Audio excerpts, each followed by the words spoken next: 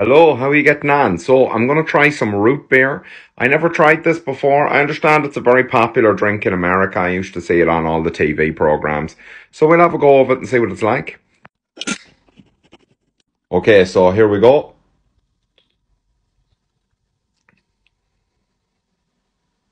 Okay, I'm going to have another taste just to make sure. Uh, but I think I hate this to the core of my soul and it's one of the worst things I've ever drank. That's my first opinion.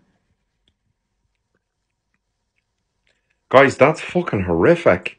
It tastes like mouthwash. That's absolutely horrendous. Are ye actually drinking this for pleasure?